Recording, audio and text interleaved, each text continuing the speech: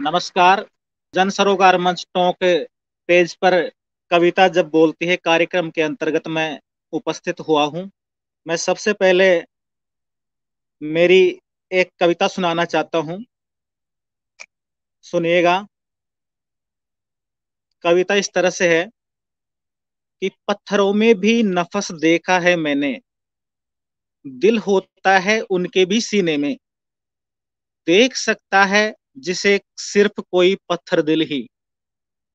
उनके सीने पर बने निशान कहानी कह रहे हैं सभ्यताओं के कोमलकांत मनोभावों की, जिसमें विकसित और अविकसित दोनों तरह के समाजों से, जिसमें विकसित और अविकसित दोनों तरह के समाजों के दृष्टांत छपे हैं विस्तार से। पत्थरों पर उत्कीर्ण शब्दों ने हमें रूबरू करवाया सभ्यताओं के सभ्यपन से। यदि गौर से सुना जाए, यदि गौर से सुना जाए तो पत्थर प्रकट करते हैं अपनी भावनाएँ। ये भावनाएँ भावनाशील मनुष्य के भीतर हवा देती है एक आंदोलन को और बनाती हैं सभ्य सुसंस्कृत व्यक्ति। इनके भीतर छिपे अक्षरों में ढूंढ सकता है व्यक्ति लुप्त होती अपनी संवेदनाओं को। इससे उलट अविकसित सभ्यताओं में पत्थर से पत्थर टकराकर फेंक दिया जाता है, पत्थरों को महज आग सुलगाकर। अथवा छापामार युद्ध में एक दूसरे पर पत्थरों की वर्षा करते हुए लहू बहाकर। इन दोनों व्यतिरेकों में पत्थरों का सही इस्तेमाल करते हुए मान रखा जा सकता है सभ्यताओं का। और दूसरी कविता है, क्या तुम समझ पाते हो मेरे कविताओं में मेरे जहन की आंतरिक संवेदना को? क्या तुम समझ पाते हो मेरी कविताओं में मेरे जहन की आंतरिक संवेदना को? मैं कविता में क्या लिखता हूँ? मेरे शब्द कैसे होते हैं? क्या तुम विवेचन कर सकते हो? क्या तुम्हारे मन को झिंझोड़ा कभी मेरे शब्दों ने कभी क्या उन्हें पढ़कर तुम्हें रोना आया? अथवा कभी खुशी मिली? क्या कभी क्रोध जगा? या कि फिर स्वेद बहातन से? या कभी किसी के लिए करुणा जगी कि मन में कोई बदलाव आया तुम्हारे? ये सब तुम में यदि उद्भूत नहीं हुए, यदि मेरी कविता तुम्हारी बुद्धि को नहीं जागृत कर पाई तो तुम्हें कविता पढ़ना बंद कर देनी चाहिए। अथवा फिर मुझे लिखना। और इस बीच में एक तुकांत कविता सुनाता हूँ। तुकांत कविता है, नया सवेरा होगा। देखिएगा, नया सवेरा होगा। दीप जलेंगे फिर घर घर में दूर अंधेरा होगा। दीप जलेंगे फिर घर घर में दूर अंधेरा होगा। मर्दन कर काले रातों का नया सवेरा होगा। सूखेगा आँखों का जल फिर, होंगे पुलकित गीत गज़ल फिर। महकेगी श्रृंगारिक उबटन, चमकेगा कुमकुम का जल फिर। घोर उदासी धुंध छटेगी, सभी ग्रहों की चाल रुकेगी। जलती हुई मनों के भीतर भीषण अग्नि ज्वाल बुझेगी। आएगा नव सुबह दिवस ले, आएगा नव सुबह दिवस ले। लुप्त अंधेरा होगा मर्दन कर काले रातों का नया सवेरा होगा।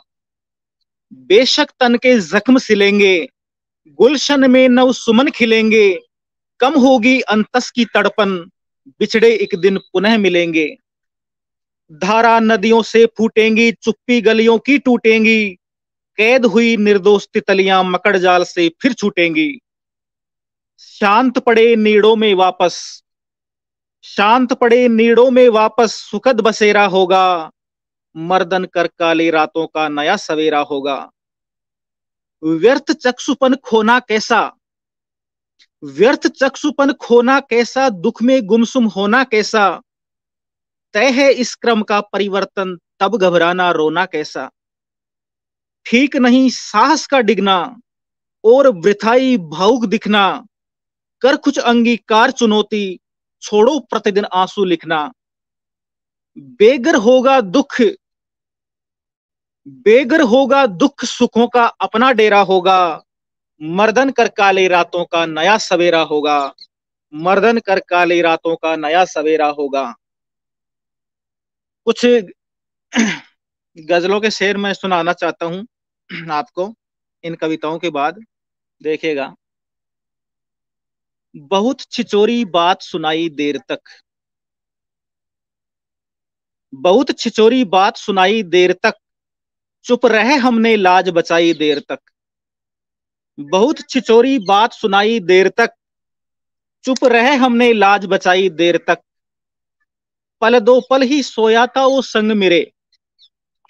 पल दो पल ही सोया था वो संग मेरे। रही बहुत ही गर्म रजाई देर तक। और तीर न तीर न कोई उसने मारा था बड़ा। तीर न कोई उसने मारा था बड़ा। मिली बहुत ही मगर बधाई देर तक। फैलाकर जुल्फें वो छत पर थी खड़ी। फैलाकर जुल्फें वो छत पर थी खड़ी। हमने भी फिर पतंग लड़ाई देर तक। बहुत छिचोरी बात सुनाई देर तक। चुप रहे हमने लाज बचाई देर तक। और एक गज़ल है। कुछ कुछ शेर सुना रहा हूँ, पूरी गज़ल नहीं सुना रहा हूँ, जो शेर मुझे अच्छे लगते हैं वो सुना रहा हूँ। बिखरा बिखरा दीवानों का घर लगता है। बिखरा बिखरा दीवानों का घर लगता है। उल्फत से अब यारो बेहद डर लगता है। बिखरा बिखरा दीवानों का घर लगता है। उल्फत से अब यारो बेहद डर लगता है। है लबालब नफरत ही नफरत से दुनिया। है लबालब नफरत ही नफरत से दुनिया। प्रेम तो बस अब केवल मुट्ठी भर लगता है। सन्नाटा है, नम आँखें हैं, जख्मी दिल है। सन्नाटा है, नम आँखें हैं, जख्मी दिल है। ये घर भी मेरे जैसा ही घर लगता है। बिखरा बिखरा दीवानों का घर लगता है। उल्फत से अब यारो बेहद डर लगता है। और एक गज़ल है कि कुछ भी ठीक नहीं है ढंग जमाने में। कुछ भी ठीक नहीं है ढंग जमाने में। लोग लगे हैं लड़ने और लड़ाने में।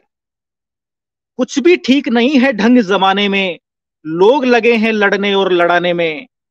अपना सारा ऐब छुपाकर आज सभी, अपना सारा ऐब छुपाकर आज सभी नुक्स ढूंढते ढिमके और फलाने में। कृष्ण कृपा से जीत गया अर्जुन वरना। कृष्ण कृपा से जीत गया अर्जुन वरना। कर्ण कहाँ पर कम था तीर चलाने में? कुछ भी ठीक नहीं है ढंग जमाने में। लोग लगे हैं लड़ने और लड़ाने में। और एक गज़ल है कि थे गुलाबी लब रक्तिम थे गाल कभी। थे गुलाबी लब रक्तिम थे गाल कभी। लगते थे हम खुद भी बहुत कमाल कभी। थे गुलाबी लब रक्तिम थे गाल कभी। लगते थे हम खुद भी बहुत कमाल कभी। रहम खुदा का होता है जिस इंसा पे। रहम खुदा का होता है जिस इंसा पे। हो न पाता उसका बाका बाल कभी। आरक्षण की भेंट चढ़ गया हुनर वगरना।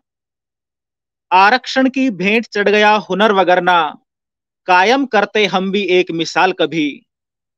आरक्षण की भेंट चढ़ गया हुनर वगरना। कायम करते हम भी एक मिसाल कभी। जुल्म कर रहे आज स्वयं ही गायों पर। अंतिम शेर सुना रहा हूँ इस गज़ल का, कि जुल्म कर रहे आज स्वयं ही गायों पर, बनते फिरते थे जो कि गोपाल कभी। थे गुलाबी लब रक्तिम थे गाल कभी। लगते थे हम खुद भी बहुत कमाल कभी। और एक अंतिम कविता मैं सुना करके विराम लेना चाहूँगा। एक एतुकांत रचना है, छोटी सी कविता है, वो मैं चाहता हूँ, कि निरी अंधी होती है धूल। फिर भी यूँ उड़ती जाती है, गोया की आँखें हों। निरी अंधी होती है धूल, फिर भी यूँ उड़ती जाती है, गोया की आँखें हों। चलती जाती है नमी की तलाश में, खुद को वापस मिट्टी में फना कर देने के लिए।